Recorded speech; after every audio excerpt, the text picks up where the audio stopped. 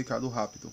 É, bem, desculpa, galera, por ter dado uma parada nos vídeos de novo, mas é que dessa vez foi por preguiça mesmo, tá ligado? É, eu gravo esses vídeos geralmente quando eu acordo, porque não tá me dando tempo de gravar. E às vezes eu quero ficar jogando em vez de fazer vídeo. Então, me desculpem. E vamos lá.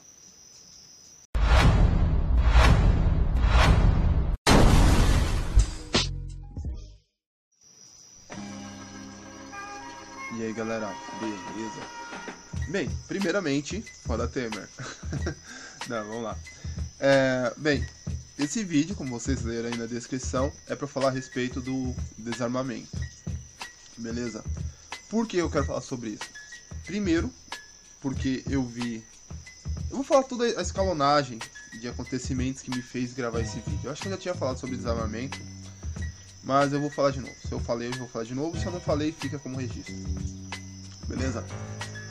Uh, eu tava assistindo o vídeo do Zoeiro, primeiro. Pra quem não sabe quem é o Zoeiro, é o eufemisticamente Zoeiro. Eu chamo ele só de Zoeiro, beleza? Depois, falando a respeito do entrevista do L'Oreal, por isso que tá na lista L'Oreal, eu vou explicar o porquê depois. Ele deu uma entrevista, o L'Oreal, desculpa, o Benê Barbosa deu uma entrevista pro L'Oreal. E depois eu vi o vídeo do Subtosco, né, no canal Clube da Luta, falando também a respeito de desarmamento, porque o L'Oreal falou. Então, eu vou dar minha opinião aqui primeiro e depois eu explico o porquê que esse vídeo tá na playlist L'Oreal. Apesar que o vídeo tecnicamente não é pro L'Oreal, é pro Benê. Mas tá valendo, vamos lá. O... A minha opinião é o seguinte, eu já fui totalmente contra o armamento. Tá? Eu via que é, ter armas em casa, tal, isso aquilo outro era um grande problema. Já fui totalmente contra. Hoje eu não sou contra a pessoa ter um armamento dentro de casa, não sou contra, pra mim tá beleza, tá? Não tem problema nenhum. O meu problema com o armamento é o cara querer levar ela pra rua. Eu tenho um grande problema nisso. Aí você pode argumentar, ah, mas não sei o que lá, não sei o que lá, sei o que lá. Tá, eu tenho um problema com isso, tá? Eu não gosto disso, dessa ideia. Eu não gosto da ideia de eu pisar no pé de alguém e essa pessoa querer me dar um tiro na cabeça. Eu não gosto dessa ideia, beleza? Depois a gente, a gente faz um debate a esse respeito tal, eu vou explicar melhor. Mas agora eu vou fazer o vídeo que é a parte que é para o Benê. Que não é um. Não é um vídeo resposta é, quebrando os argumentos dele, nada disso, tá? É algo que ele falou que me incomodou muito. Beleza?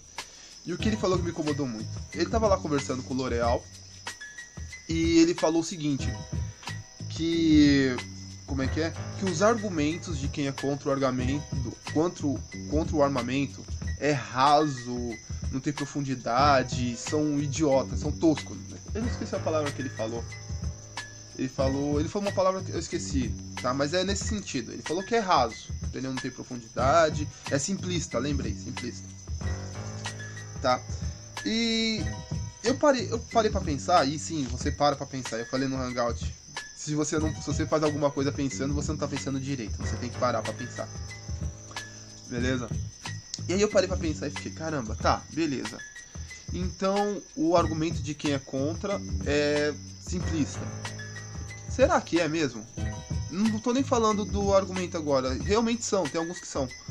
Mas qual é a justificativa, por exemplo, que no caso do vídeo do L'Oreal e o Benê, que eles davam principalmente? era a. Como é que é? Era a defesa pessoal. Por exemplo, você se defender, você tem uma arma para se defender. Eu, eu, eu, como eu disse, eu acho que o cara na casa dele, beleza. Você quer ter uma pra se defender? É um bom argumento, mas não deveria ser o principal argumento, porque esse argumento também é um argumento simplista e raso. Beleza?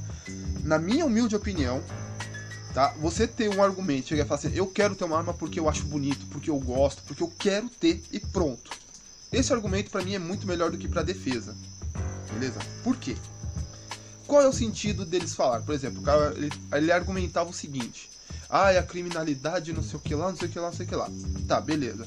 Então, compartilho do pressuposto que o argumento à defesa pessoal seja por causa de criminalidade e não por causa de crimes de por exemplo, uh, motivo tosco. Eu até esqueci o nome desse homicídio.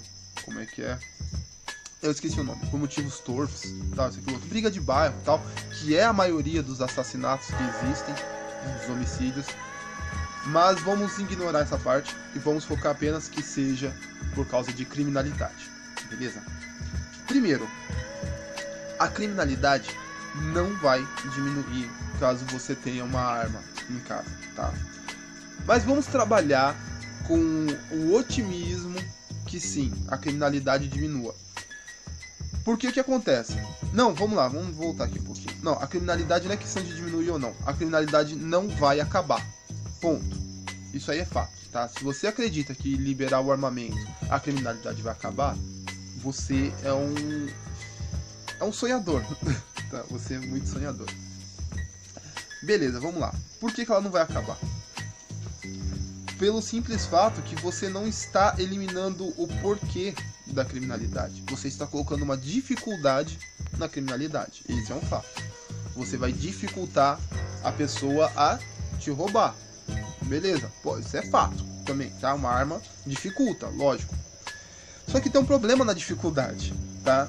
Quando você coloca uma dificuldade para alguém, ela tem duas opções.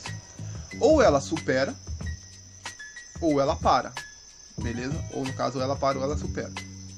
Na melhor das hipóteses, sendo muito otimista, o crime, os crimes de ostentação, o cara que rouba para ostentar simplesmente, eles param. Vamos supor isso, coisa que eu duvido muito vai acontecer.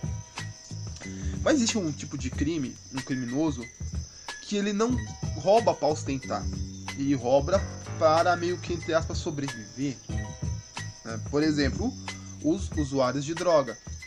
Ah, mas aí é o problema das drogas. Sim, problema das drogas. Mas isso é um outro vídeo, beleza? Vamos lá. O usuário das drogas. Ele não rouba porque ele quer roubar. Ele rouba porque ele tem que roubar para comprar drogas. Beleza? Para sustentar o seu vício. Então, o vício dele, você tendo uma arma ou não, o vício dele vai continuar lá. Tá? A vontade dele vai continuar lá. E para quem é usuário de droga, quando ele está em abstinência, é como se ele estivesse morrendo. Beleza?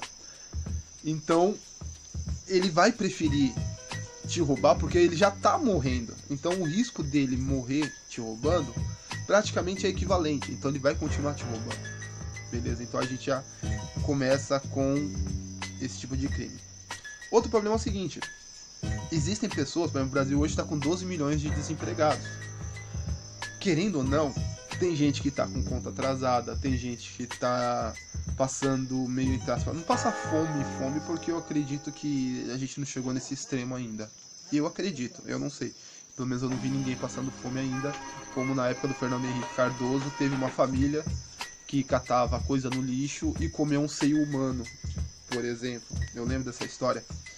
Eles estavam passando fome, acharam um seio humano no lixo e comeram. A família comeu o seio humano porque não tinha nada para comer. É. Vocês que são mais novos aí vão ficar um pouco impressionados com isso. Mas isso aconteceu. Eu acredito que hoje no Brasil não tem ninguém nesse estágio.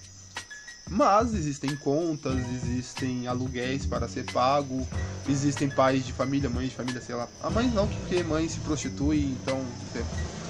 Mas por exemplo, o homem. O homem não tem muitas opções. Então é aí que ele vai pegar uma arma e vai acabar assaltando alguém, porque ele prefere é, entre aspas, morrer ou ser preso, de que ver, sei lá, o seu filho na rua, embaixo da ponte. Entendeu? Por causa de aluguel. Então, qual é o objetivo dessa minha argumentação? É que o armamento, ele não resolve o problema da criminalidade. E o argumento que eles usam é que é por causa da criminalidade. Tá, mas você não está resolvendo o problema da criminalidade. Então seu argumento é raso também. Tô falando que o argumento não, não, não é um argumento, mas é um argumento raso. Isso é inegável tá? É um argumento superficial que não explora as profundidades do problema, que problema da criminalidade, que é muito mais baixo, tá? Isso que eu tirei os crimes de ostentação, tá? Porque você tem toda uma sociedade, todo um esquema, é, vocês vão falar que eu estou esquerdando agora, mas todo um sistema capitalista que diz para um jovem que para ele ser bom, ele tem que ter um tênis da Nike, ele tem que ter um iPhone, entendeu? Ele tem que ter uma moto Hornet. E aí, você vai fazer o que com isso aí? o cara vai E aí o cara tá lá, na, na, na, favela lá, ou sei lá, na classe média, não importa, o jovem tá lá assistindo a televisão e fala, pô, eu tenho que ter um iPhone. E agora, o que eu vou fazer? Eu não tenho dinheiro para comprar um iPhone. Aí o cara tá vendo o cara passar de iPhone na frente dele. E aí? Você, às vezes as pessoas julgam pelo seu caráter o caráter dos outros. A vivência dos outros, por exemplo, eu tive, eu tenho pai, eu tenho mãe, eu mesmo minha mãe sendo separado do meu pai, eu tive um padrasto, né? É, até que ele é até policial militar. Hoje ela é separada dele, mas não tem problema nenhum. É, então eu tive uma estrutura familiar boa. Eu não posso falar das pessoas que não teve estrutura familiar. Por exemplo, o moleque, o garoto lá que morreu de 10 anos. O pai dele preso, a mãe dele usa crack, entendeu? Ele dormia na rua, vivia dormindo na rua, era engraxate. Aí ele passa e vê, tipo, ele trabalhava de engraxate, acho que no aeroporto, numa rodoviária, não lembro. Aí ele passa a ver lá, papai, mamãe e filhinho com o celular brincando, da mesma idade que ele, 10 anos. E aí ele se pergunta, por que esse, moleque, por que esse, esse garoto tem e eu não tenho? Entendeu? Então a gente não tá explorando o problema da criminalidade. E, e tá falando assim, ah, vamos tacar arma na mão da população. Só que o problema é o seguinte, lembra que eu falei que na, quando você coloca uma dificuldade, ou você para ou você supera? O problema é que quando os criminosos superam, quem se dá mal é a população em geral. Entendeu? Porque você vai ter uma arma. Eu, vamos supor que eu não queira ter uma arma. Só que o criminoso não vai saber que eu não tenho uma arma. E para ele saber, é muito mais fácil ele chegar e dar um tiro na minha cabeça e perguntar depois do que vir me assaltar e falar, ah, beleza, o cara, o cara não tá armado, eu vou assaltar ele, beleza. Uh, só para terminar aqui, teve um vídeo que eu vi, o pessoal comemorando, aplaudindo, ah, bandido bom e bandido morto, é isso aí, tem que matar mesmo. O que aconteceu? O cara tava numa moto, ele e a namorada dele, um assaltante parou os dois, pegou a moto, o cara desceu da moto, a namorada desceu da moto, o cara pegou a moto e saiu. O que, que esse, esse cara aí, o dono da moto, tava armado. A hora que o criminoso saiu, ele foi lá e meteu bala no, no assaltante. Beleza, matou o assaltante. Aí os caras aplaudindo, ah, legal, é isso aí. Eu fui lá e falei assim, beleza, legal. Né? Agora, sabe o que vai acontecer? O amigo desse cara, desse criminoso, provavelmente ele tem amigos, e são amigos criminosos também, porque geralmente você tá num círculo de iguais a vocês. Por exemplo, se você tem um círculo fascista, provavelmente esse cara tem um círculo bandido também, tá? Então o que acontece? O amigo bandido desse cara vai olhar essa cena e vai ver que o amigo dele morreu porque ele deixou a vítima viva e vai fazer o quê? Eu vou matar. Entendeu? Eu não quero morrer, porque ninguém quer morrer, entendeu? Então o cara vai pensar, eu vou, eu vou morrer, eu vou deixar, eu vou saber se a minha, se a vítima está armada ou não. Eu vou lá dar um tiro na cabeça do cara, porque o cara tá com as duas mãos no guidão da moto. O cara vai fazer o quê? Vai sacar como? O cara vai dar um tiro na cabeça do maluco, vai roubar a moto e aí ele não vai morrer. Você entendeu como você supera o crime? Como o crime pode superar a dificuldade? O que, que importa se você vai estar armado na tua moto? Você vai estar com as mãos no guidão me fala, você tem uma terceira mão? Você vai tirar o Merlin e ia falar você enfia arma no cu e sair atirando? Mas é isso aí, galera. É, esse é o meu recado. Esse argumento de é, para defesa também é um argumento simplista, tá? E superficial, muito superficial, porque não arranha nenhum problema da, da criminalidade. Beleza, galera? Até a próxima. Fui.